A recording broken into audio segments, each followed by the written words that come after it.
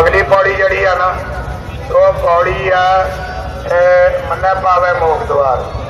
ਉਹ ਪੌੜੀ ਦੇ ਵਿੱਚ ਥੋੜੀ ਜਿਹੀ ਮਿਸਟੇਕ ਹੋਈ ਹੈ ਤੁਸੀਂ ਗੱਲਾਂ ਦੀਆਂ ਕਰਨ ਲੱਗ ਪਏ, ਮੈਨੂੰ ਪਤਾ ਲੱਗ ਗਿਆ। ਸੁਣਿਆ ਸਿੱਧ ਪੀਰ ਸੁਨਾਤ ਦੂਜੀ ਪੌੜੀ ਸੀ ਸੁਣਿਆ ਈਸ਼ਰ ਵਰਮਾਏ ਤੇ ਉਹ ਪੌੜੀ ਮੈਂ ਭੁੱਲ ਗਿਆ ਸੀਗਾ, ਤੇ ਤੁਸੀਂ ਸੂਝਵਾਨ ਬੈਠੇ ਜੇ, ਆ ਇੱਕ ਤਾਂ ਵਿਦਵਾਨਾਂ 'ਚ ਕਥਾ ਕਰਨੀ ਬੜੀ ਔਖੀ ਹੁੰਦੀ ਹੈ ਮਹਾਰਾਜ ਸਾਹਿਬ ਆਪੇ ਹੀ ਕਰਾ ਲੈਣ।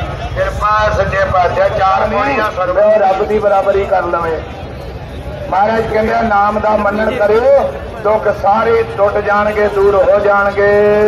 ਆਏ ਮੰਨੇ ਐਸਾ ਲਾਹੀ ਹੈ ਨਾਮ ਦਾ ਮੰਨਣ ਕਰਿਓ ਵਾਹਿਗੁਰੂ ਦੀ ਸਭ ਤੋਂ ਸਲਾਹ ਕਰੀਏ।